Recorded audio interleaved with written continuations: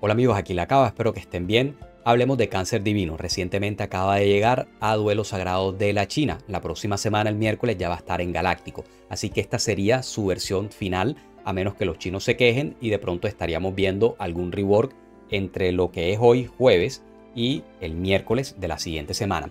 Dice aquí en la descripción del personaje, Cáncer Divino es un personaje atacante cósmico en este caso y es un personaje de support y hemos visto de varios creadores de, de contenido que el personaje está bastante F, pero muy, muy F. Les voy a mostrar aquí los cosmos sugeridos, les están aumentando la velocidad, les está aumentando la vida y tema de inmunidad o resistencia a los estados de control con conocimiento, porque el personaje es totalmente controlable, no hay algo adicional que te ofrezca aparte de sus habilidades y es muy sencillo de entender. Y por otro lado es el rombo, que me sorprendió bastante porque esto es un rombo que te está dando ataque, que te está dando crítico, buena velocidad de supervivencia. O sea, el personaje tiene aquí de todo, mejor que Thanatos en el rombo. Hay que ver algo, y sí quiero aclarar, porque esto es un personaje que las cosas que hace las hace en base a la vida. Entonces en el servidor de pruebas, en duelo sagrado, la vida está partida por la mitad prácticamente. O más bien, en Galáctico está duplicada la vida. Así que de pronto algunos de estos efectos los podríamos ver un poquito más potenciados en Galáctico y no tanto verlo en Duelo Sagrado. Así que hay que darle ese poquitico de oportunidad, pero a pesar de darle esa oportunidad, el personaje está demasiado, demasiado sencillo y demasiado que no te aporta nada nuevo al meta. Lo que sí aporta es algo muy importante y se refiere al templo. En este caso, si buscamos el templo, por ejemplo, de Eris, vamos a ver que empieza a ser el quinto personaje y ya empieza a este templo a verse un poquito más potenciado. De hecho, también llega Violet y el personaje nuevo de hoy en día, Shaka Divino. Entonces, por ahí estamos teniendo 18 estrellas más y ya lo vimos en Hamir que algunos de estos personajes lo que están haciendo es potenciar a Eris y podríamos de pronto desempolvarla en su team de quemaduras y sangrados.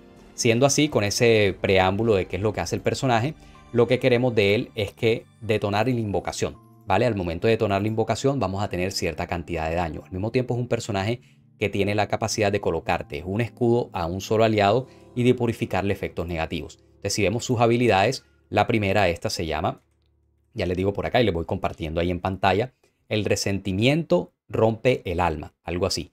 Entonces, también se van a ir dando cuenta en la medida que pase por las cuatro habilidades que ninguna de ellas se potencia o te entrega un valor añadido, un valor adicional al momento que la sigo subiendo de nivel. Siempre es como que la misma. Gracias, Orin.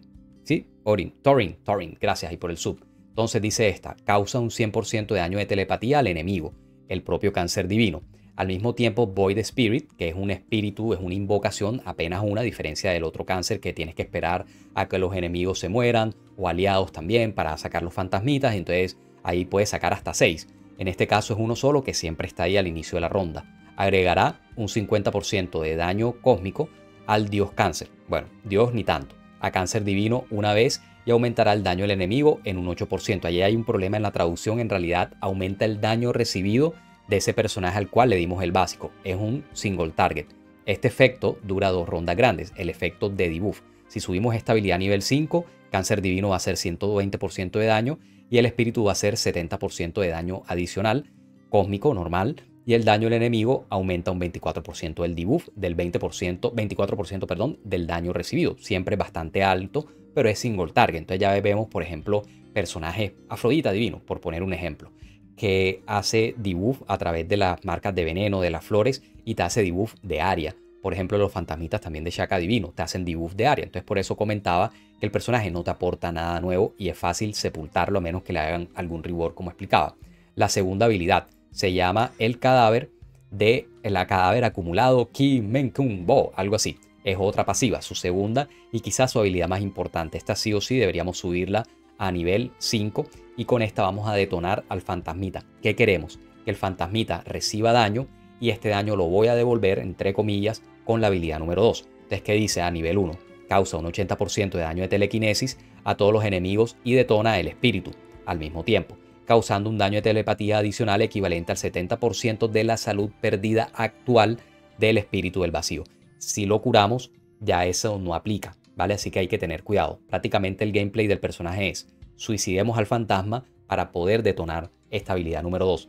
Y al mismo tiempo, después de detonar, se restablece la vida del espíritu del vacío al 100%, porque le queremos que le baje la vida, pero no que se muera, porque si no se debe, debemos recuperarla.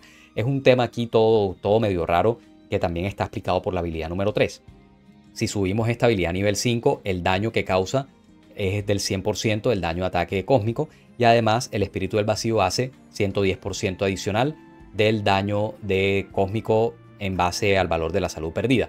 Pero aquí dice el grupo. El grupo es que en realidad este ataque es un ataque de área. Pasamos a la tercera habilidad que se llama Chivo Expiatorio. En este caso sería otra habilidad activa. Vamos a gastar uno energía para sacrificarle la vida a nuestro eh, fantasmita. Vamos a seleccionar un aliado y a ese aliado le vamos a subir los escudos en base también a la vida y le vamos a purificar los efectos negativos. Es un purificador, pero apenas es a un solo aliado. Entonces por eso es que, a ver, estas cosas, una Pandora Mariscal te monta un cojonal de escudos impresionante, así que no lo veo tan interesante.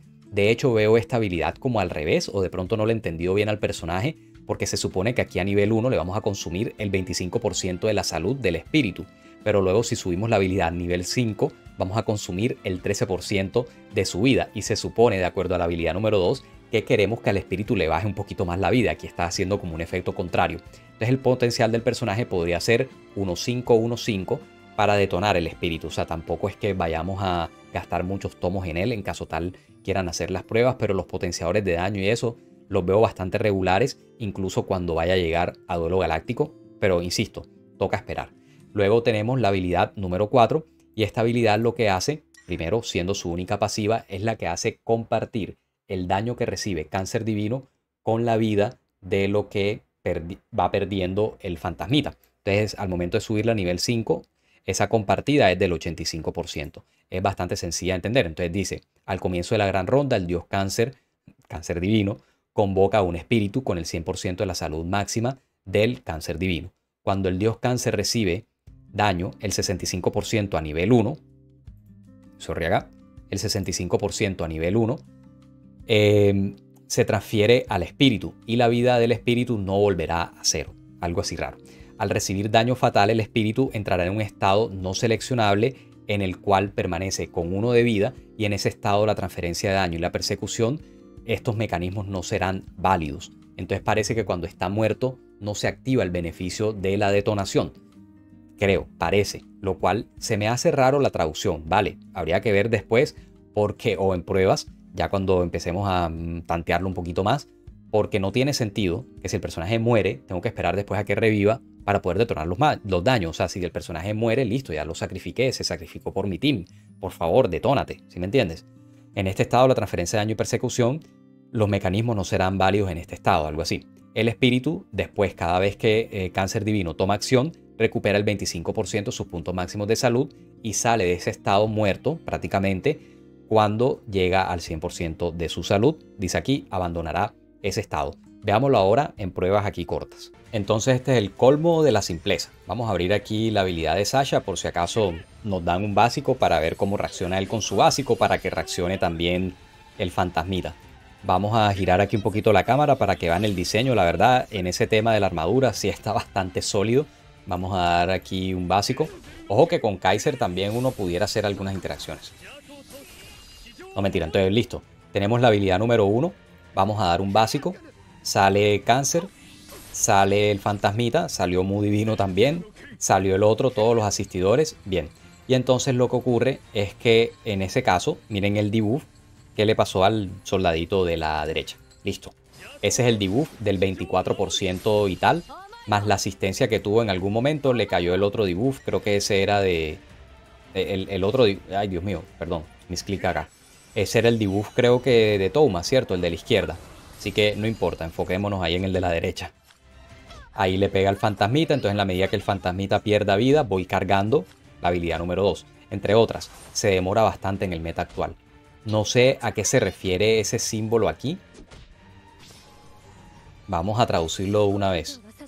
Ese símbolo del fantasmita no tengo ni idea. Me esperan aquí un momentico, vamos a hacerlo así. Sin edición. Vamos a ver qué dice ese fantasmita acá.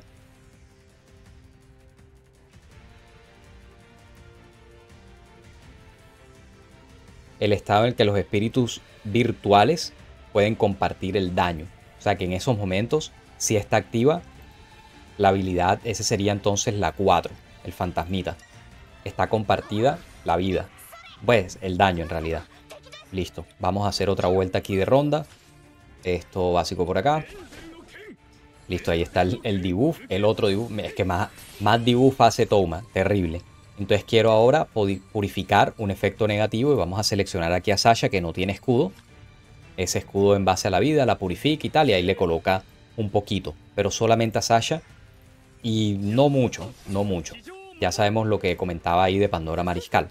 Es una combinación como de personajes, varios, pero a la larga es como, pero bueno, ¿qué estoy logrando con él nuevo? Nada. Bueno, hay básicos, básicos de Sasha, básicos de Artemisa, básicos de asistencia. Miren que ahí vuelve a dar un básico, ahí, ahí sale el fantasmita y coloca debuff. Ok, listo. Recuerden que ese debuff dura dos rondas. Y finalmente vamos a probar la habilidad número 2. Asistencia, bien. Habrá algunos efectos ahí de asistencia. Si está Kaiser, él saldrá a asistir y todo lo demás, pero bueno. Dejando los dibujos. Finalmente el meta de Kaiser. Y detonamos acá, ataque de área, seleccionamos a cualquiera, pegamos. Y aquí lo que no vamos a ver es cuando el fantasmita muera. ¿vale? Y ahí está el, doble ataque.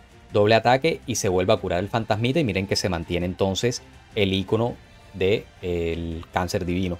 Ahora, en combate hay que esperar cuando se muere el personaje qué pasa con, eso, con ese icono y que de pronto ahí no van a estar compartiendo daño y que de pronto ahí no va a detonar del todo, pero hay que verlo un poquito más en combate esta noche durante el stream. Vamos a estar haciendo un poquito más de pruebas. Cuídense amigos, cuiden a su familia, no olviden suscribirse al canal y prender la campanita.